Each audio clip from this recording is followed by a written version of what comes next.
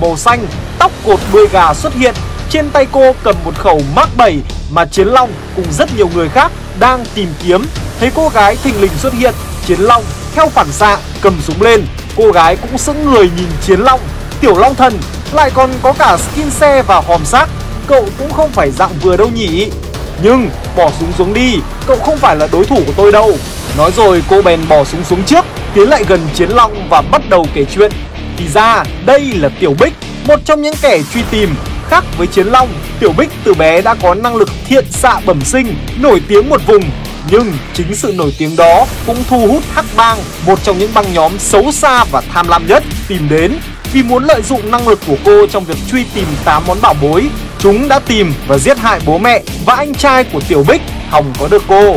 Giống như Chiến Long, Tiểu Bích may mắn trốn thoát và cũng một lòng muốn có được chiếc cúp vua để trả Có một lại thêm một, sở hữu sò lạnh cực đỉnh tại đây. Sò lạnh tản nhiệt của game thủ chuyên nghiệp, thiết kế gaming, mát lạnh cực đỉnh, gọt nhẹ chắc chắn, siêu ưu đãi, siêu phải chăng, chẳng cần lo lắng, sở hữu ngay. Hùng Cam, bình luận viên Free Fire số 1 Việt Nam